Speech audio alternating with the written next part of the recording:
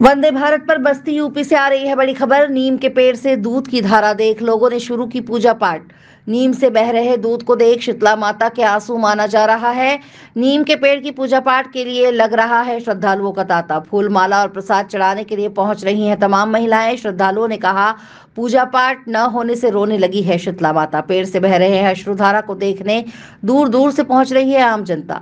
बनभान कस्बे के भगत सिंह वार्ड का है ये पूरा मामला। वंदे भारत के लिए बस्ती से साबिर अली की रिपोर्ट। नहीं ये माता जी बैठत रही हम्म। तो अभी क्या सोच के आप लोग यहाँ पे आए हैं? क्या देखे हैं यहाँ पे आए? चमत्कार क्या देखे यहाँ पर अच्छा, चमत्कार यही दिखाई पड़ा कि अश्वधारा उनके दूध की गिर रही हाँ, है ये कल चार बजे शाम से उनकी अश्वधारा गिर रही है। हम्म। और रात शाम में तो बहुत तेज गिर रहा था। तो हम माली हैं हम लोगों ने उनका अरदास किया।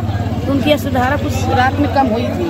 टपक रही थी लेकिन इतनी टाइम देख रहे हैं कि फिर हम्म। तो क्या ये दूध जो है आँसू का धारा है या क्या है? क्या है इसको मान हम लोग तो यही समझ रहे हैं कि हाँ उन भाई उनकी सेवा सरकार नहीं होती है उनकी? अश्वधारा इसके पहले भी कही है कभी यहाँ पे पूजा पाठ हो रहा नहीं हुआ था। पहली बार ऐसा हुआ? हम लोग रात में यहाँ पे शाम को सुने हम्म। कि नीम के पेड़ से दूध निकल रहा है। तो हम लोग देखने के लिए उत्तेजित हो गए।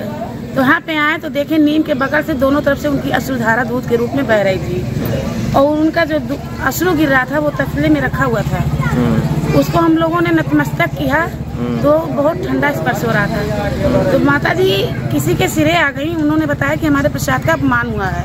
और यहाँ पे पूजा वगैरह नहीं हो रहा ना धाल वगैरह चढ़ रहा है। हम्म, तो हम लोग पूरी जनता मिलकर यहाँ पे माता जी का नारा लगाएँ हम्म। और उसके बाद वहाँ पे हम लोग माता जी से अरदास किए कि माता जी शुक्र सोमवार को आप लोग को आपको सवा घड़ा धार दिया जाएगा। यहाँ की जनता की रक्षा कीजिए जो भूल चूक हुई है उसको क्षमा कीजिए। तो हम लोग ने ये अपने में विचार विमर्श किया और उसके बाद फिर शुक्रवार को यहाँ पे धार चढ़ाने की जागरूकता उत्पन्न की। तो अभी कितने भक्त लगभग यहाँ पे आ चुके होंगे? अरे तब भी हम जानते हैं कि हमारे अंदाज से कम से कम हज़ार लोग तो आ चुके होंगे हम्म, रात्रि में ही। अच्छा अच्छा। हज़ार से कम नहीं आए रात्रि में उनके दर्शन करने। अच्छा। तो किसके सिरे आई थी माता जी अब या तो हम नहीं देखे हैं लेकिन किसी के सुने हैं। हम अभी ये जो नीम के पेड़ के ऊपर से जो सफ़ेद तरीके से दूध निकल रहा है क्या है ये?